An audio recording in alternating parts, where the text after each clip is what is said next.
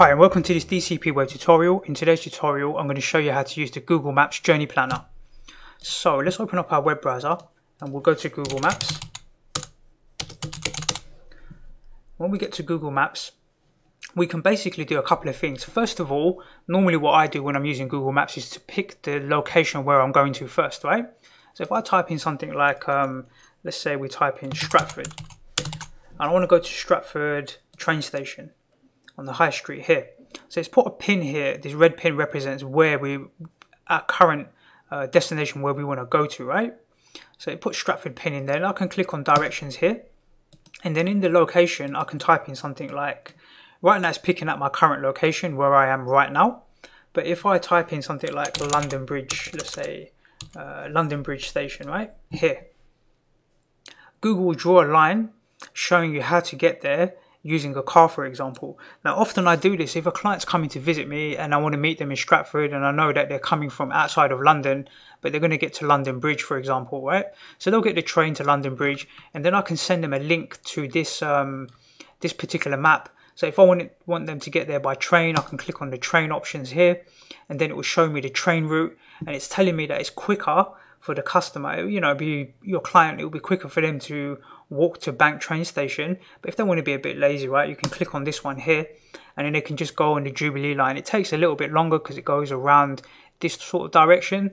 But the central line, you have to walk to Banks train station, for example, and then get on the central line, which is a little bit quicker, right? It's about four minutes difference uh, using these two different options. So you can click on one of these specifically, and then it will tell you exactly how to get there.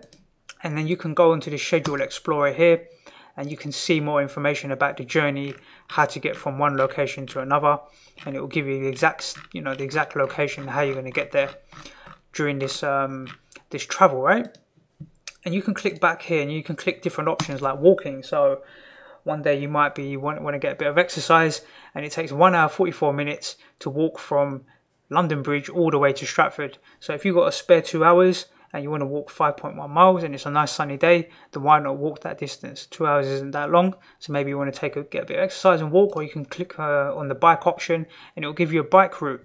And you, you see sometimes these grey lines here. You see there's a grade version and a grade version here. So you can click on those lines and it'll give you an alternative route. It's the equivalent of clicking on one of these three.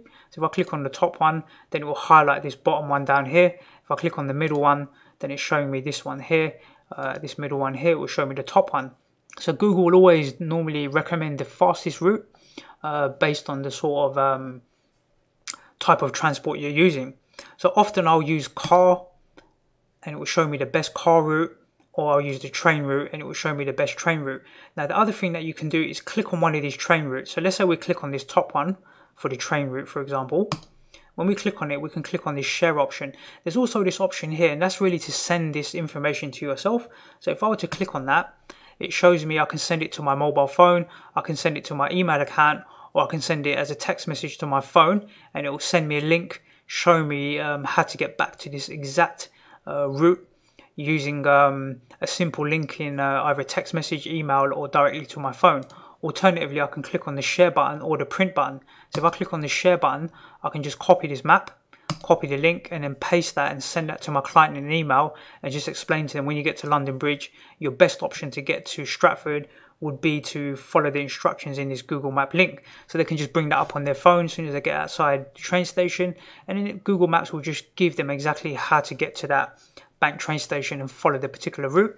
You can also embed it as well. So if you've got a website and uh, imagine if you're doing some sort of sponsored walk or something like that, some sort of walk, maybe you'll put a map there showing the route that you're going to be walking. This is a quick way to generate that route map, right? You can easily say people are going to start at London Bridge and we're going to walk along this particular route, something like this. Or you may just want to put a specific um, uh, sort of a route for whatever reason on your on your particular website. But normally I'll click share the link, copy the link, and then paste that into an email. So imagine you sent that to a client in an email, and then they open up their web browser and they paste that same link you've copied and pasted. Then they'll get exactly this particular route um, listed here, and they can also click the back arrow and they can pick an alternative route if they want to. Okay, so that's how I go about using the Google um, route planner. Uh, this is just like a single route to specific route direction. You can also go back here and you can add um, more places to the route, right? So you can select what time you're leaving as well here. You can select other options and you can also reverse the route by clicking on these up and down arrows. So you can reverse the route and it will show you that getting on at Stratford and going via the Jubilee line is quicker than getting to the Central line and, and going that way is more convenient because it's only one train, let's say, for example. Okay, so I'm going to close this down. I hope you find that useful and I look forward to seeing you on the next DCP web tutorial.